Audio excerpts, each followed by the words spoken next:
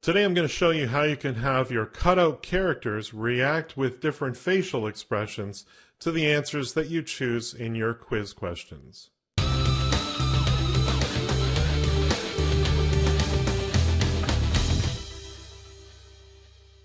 So I saw this message on the forums from Timothy who wrote, how do you get a script to interact with the same image, different name, across multiple slides?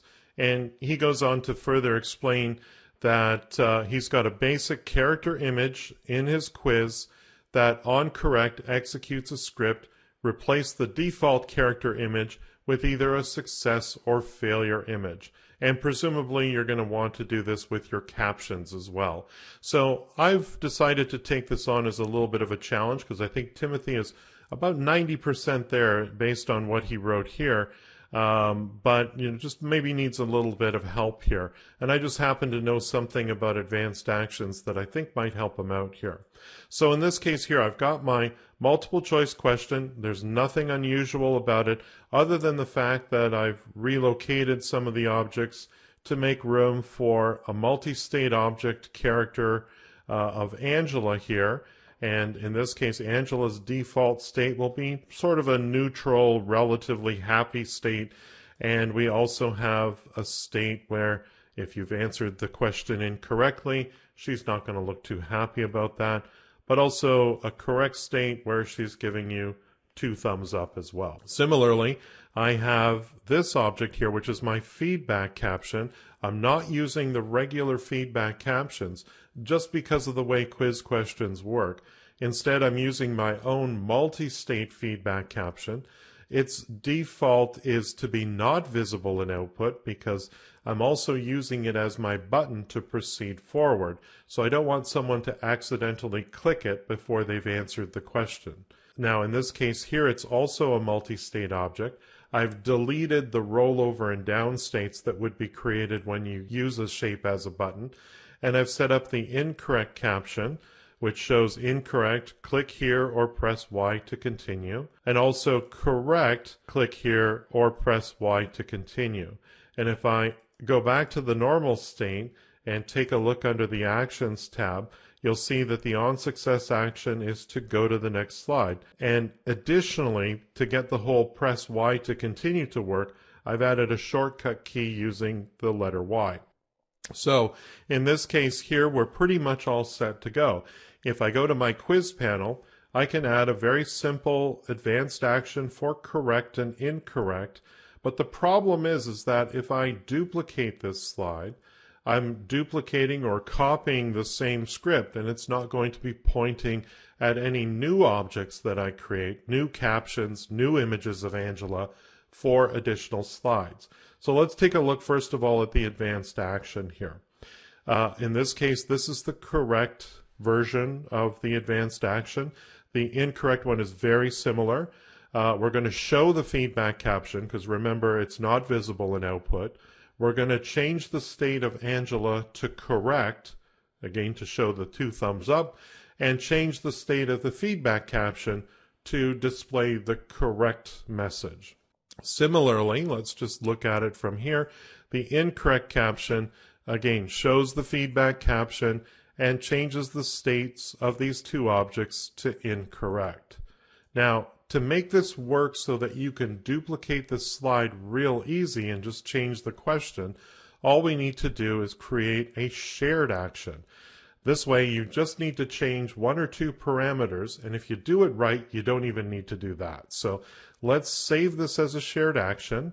Let's give it a description. Shared action for the correct results and we just need to provide a description for each of the parameters in our shared action. So uh, this is the feedback caption. This is the image of Angela. This is the correct state for Angela. And this is the correct state for our feedback. Great. So now I'm going to hit save. I'm going to click OK, and I can now close this advanced action. So let's utilize the shared action we've just created. We'll go and change this from execute advanced action to execute shared action. And we have, of course, our shared action already selected. Let's click on the action parameters and then assign those parameter values. So this is the feedback caption, so we'll select feedback caption. This is the image of Angela, so we'll select Angela. This is the correct state for Angela and the correct state for our feedback. Hit save, and that's now done. So now we just need to do the same thing with our failure situation. So we'll click on advanced action for the incorrect state. We'll save this as a shared action. We'll just give it a description here. We'll put in feedback caption here, image of Angela, incorrect state of image, incorrect state of feedback, and that should be enough of a cue for us there.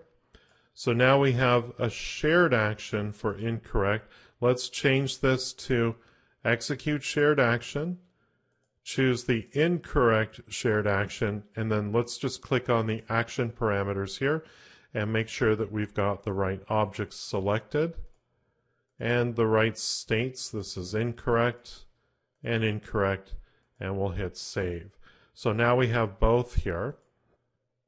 And what we can do now, here's one of the neat tricks of shared actions.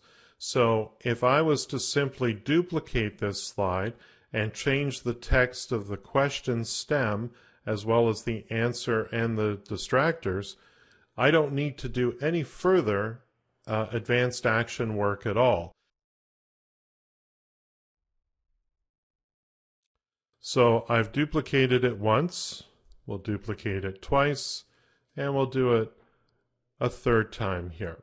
So now I'm just going to go to slide three and come up with a new question for this particular uh, situation here.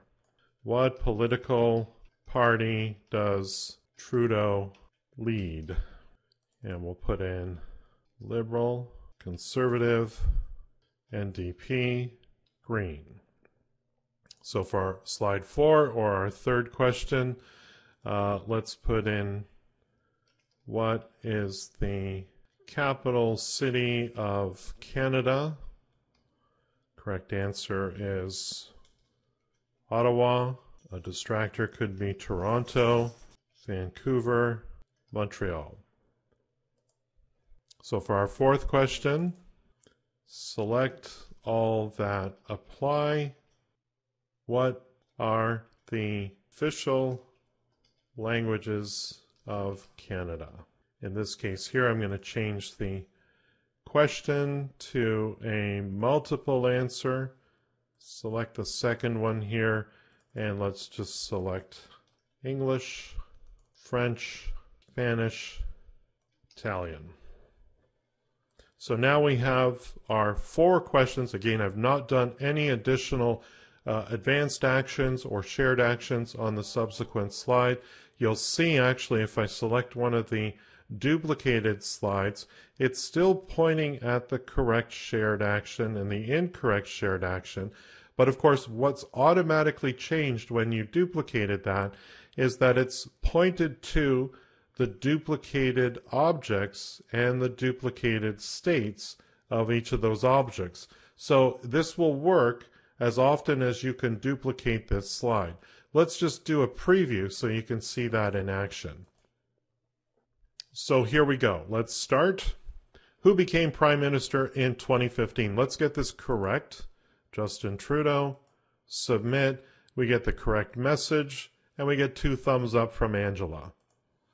What political party, it should write, does, does Trudeau lead? And the correct answer is Liberal. We'll get that correct. Again, we get the positive reinforcement from Angela there. What is the capital city of Canada? We'll get this wrong. We'll say Toronto. Submit. Oh, she doesn't look too happy with our answer. Incorrect. Click here or press Y to continue. And let's get this one correct again. English and French are the two official languages of Canada. And again, we get two thumbs up from Angela. If you thought this video was useful, please share it with your colleagues. If you need help with your next e learning project, consider hiring me. My focus is to create effective e learning that helps you achieve your business goals. Visit my website at CaptivateTeacher.com, follow me on Twitter at CaptivateTeacher, and don't forget to subscribe to my YouTube channel.